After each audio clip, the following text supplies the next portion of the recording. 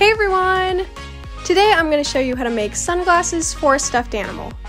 The possibilities are endless and they're perfect for summer, so let's get started.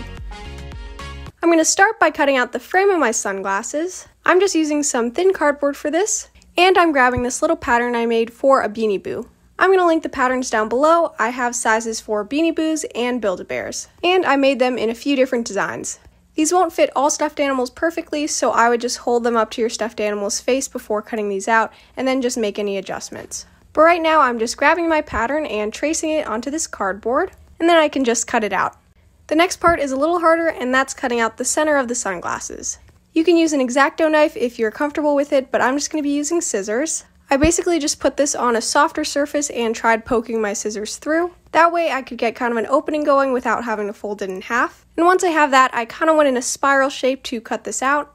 And for me, the key was to take out a little bit of the center first, and then cut the rest out as close to the lines as possible so you get the shape you want. Once you've cut most of the inside out, it gets a lot harder to trim around the edges. It's just hard to make it even at that point, that's why it's best to get it on the first try. After that, I'm going to cut out what's apparently called the temples of the sunglasses. I'm of course cutting out two of those. Now that all the framework for the sunglasses are cut out, I'm going to be painting all these pieces yellow. Don't ask me why, but I always just imagine these to be yellow, but you could do whatever color you want. After I've painted all the pieces, I'm going to move on to the tinted glass part of the sunglasses. For this, I'm using thin clear plastic from a food takeout container, and I'm just cutting out a little flat area for that so it's easier to work with and I need to cut out two, one for each lens. Now my first method for making this, I'm going to be tracing this little lens pattern I made. I don't think I'm going to be making separate patterns for this though because I think the better way is just to lay down the glasses frame, trace the inside of that frame, and then cut around it one or two millimeters away from the line. That way you'll have some allowance to glue this to the back of the frame. This one that I just traced though already has the allowance so I'm just cutting on the line exactly. For this pair of sunglasses, I want the tint to be so dark that it basically looks black. I tried a lot of different methods, but the one I decided to go with is just painting one side with black paint. Of course, you can't see through them at all, but the overall look is very similar to actual sunglasses. After the first coat, it'll be a little bit see-through, and I want it completely black, so I'm going to do a few more coats. After all these pieces have dried, I can finally just start assembling. I'm going to turn to the back of my sunglasses and grab my lens. And I want to make sure the shiny side is face down, so that's the side I did not paint. And my phone randomly stopped recording things, so I'm just to have to skip to the end where it's all put together. But I will be doing another pair of sunglasses, so that's where I'll show how to put it all together. But for now, I'm just trying this on my Beanie Boo, and it looks adorable. Mine are staying on pretty well, resting on her snout, but if you want yours to stay on a little better, you can always attach some elastic or just regular string to the ends of the temples, and that way there's kind of a strap to hold them on since they're not really hooked onto the ears.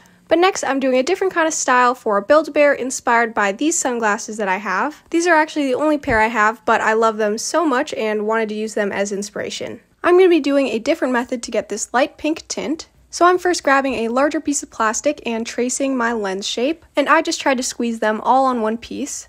But now I'm going to be using my red washable marker and just coloring all over the shape. I also want a little bit of a brownish color here, so I'm grabbing a brown washable marker and scribbling on that as well. And now I'm going to grab some Mod Podge, but you can use any kind of clear glue, and just swirl it on. And since the markers are washable, it should just mix with the Mod Podge and give it a light tint. Then I'm going to bring that onto the other lens since I still have some on my brush. After this dries, it'll get even lighter, so I'm going to have to do 5 or 6 coats of this.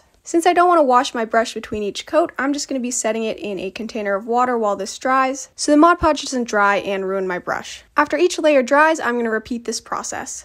After about 5 or 6 coats, the tint is pretty dark, so I'm going to stop here, and now I'm just going to cut out that rough lens shape. After that, I just compared it to my pattern, and it was pretty close, so I just stopped here. Now I've already cut out and painted my other pieces, so I can finally show how to put this all together. I'm starting by flipping the frame over and applying glue around the area where the lens is going to be. Then I'm going to paste the lens on top with the smoother side facing down. After that, I added the other one and can move on to adding the temples. I started by folding over the flat end a little bit, and I'm trying to get it to match the other one. Then I'm just applying some glue to the end and sticking it right at that little notch that sticks out of the glasses. And if it sticks out a little too much, you can always kind of tuck it under the lens. For this one, I just let them be on top, and after that, you're done. It obviously looks very different from my actual sunglasses, but I still think it turned out really cute. Of course, I had to pair it with a swimsuit I made for a Build-A-Bear. I really hope you try this out because there are so many different styles to make. Please give this video a like and comment any video requests you have. I already have enough ideas for the rest of this year, but I promise I do write down all of these ideas you give.